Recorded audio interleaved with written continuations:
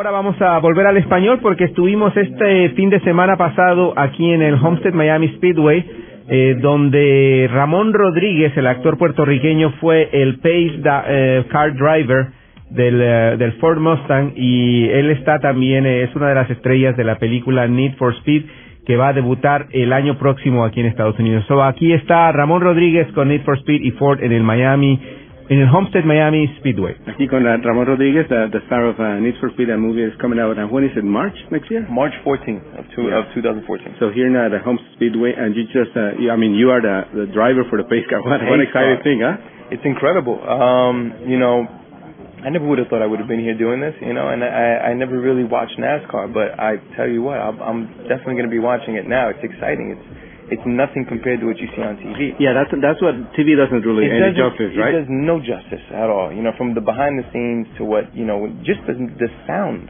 Yeah. You know, when you walk out on the field, for me, I've never heard anything like that. It's just huge, loud engines roaring, ripping around, and then when you see it, it's hard not to get giddy like a little kid. Yeah, and uh, Need for Speed is the name of the movie. But uh, when you see this in the, on the racetrack and you see how fast they're going, yeah, you're probably driving what? Like when you're doing the pace car, how how fast are you going?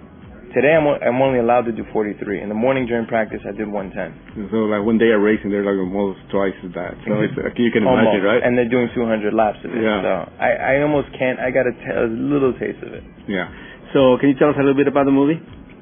Yeah, um, I play the character Joe Peck, and he's this uh, he's a he's a mechanic, loves cars. We work on muscle cars, me and this group of guys, um, and basically we start off on this adventure going from New York to San Francisco to make it to this huge race uh, for redemption. We, we something happens in the beginning of the movie that we need to kind of avenge, and uh, it's a story of revenge and redemption. So we go on this crazy adventure, obstacles, all kinds of stuff along the way.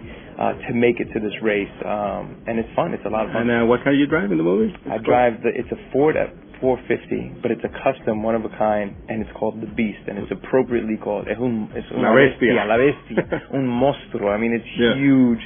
Um, and it's all like, you know, customized out. It's got an iPad. I've got TV screens in the back and radios because we have a buddy in a helicopter. I talk to the Mustang. It's just super teched out and uh, it can do anything. I mean, I'm I'm like the the big brother of the group, and you can count on La Bestia and Joe Peck to be there for you. That's great.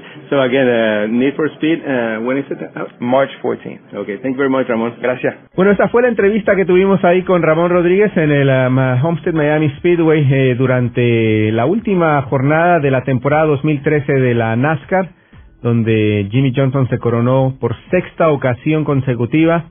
Y realmente fue un fin de semana bastante bueno para la Ford porque Ford es, el patrocinador oficial de todo este fin de semana, el eh, Ford Championship Weekend, eh, ya durante varios años ha sido el, patrocinador y bueno, los Pace Cars fueron los eh, Ford Mustangs. tenemos también en nuestra página de YouTube, los invito a que vayan por ahí.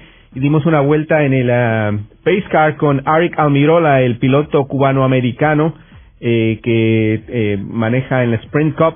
Y nos llevó ahí a, través de la, del circuito del óvalo de Miami Homestead Speedway.